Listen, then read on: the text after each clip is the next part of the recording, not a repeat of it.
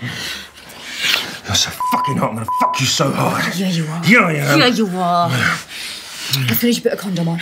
Oh, no, we don't have to worry about that. Come you sexy bitch. No, bitch. wait. We did use contraception, though we hardly know each other. Do we? Really? I mean, it's going to take me like 45 seconds to find it. Then I've got to tear the foil. Then I've got to roll it down my shaft. And then when we end up having sex, it's going to feel like I've got this wet, warm carrier bag around my knob. It's going to really kill the mood. Come on, you know P in the V without the C is the best.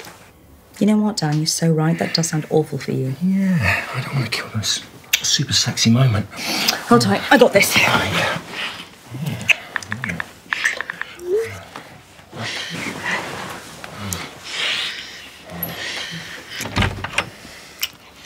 Hi, guys.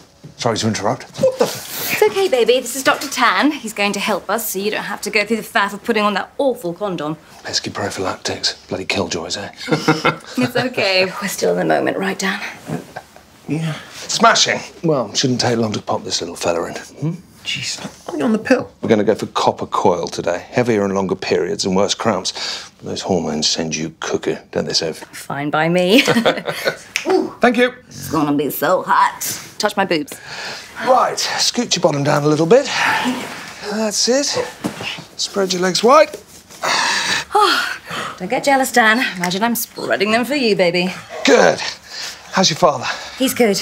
Good. Played golf with him last week. Oh, So competitive. huh? Huh? Birdie on the first, uh, eagle on the third, hole in one on the 15th. Speculum, please. Now, this might feel a little bit cold. Just going in with a chilly vaginal speculum. oh, ooh, baby. The feeling of having my cervix open is such a turn on. You gotta stick it in me, aren't you? Just about to do that now, Sophie. I was talking to Dan, Dr. Tan. He's such a flirt. Oh. Okay. Just putting the injection into the neck of the womb. There. There'll be some pressure, followed by a sharp shooting pain in your cervix. Ah! Ooh, fuck me!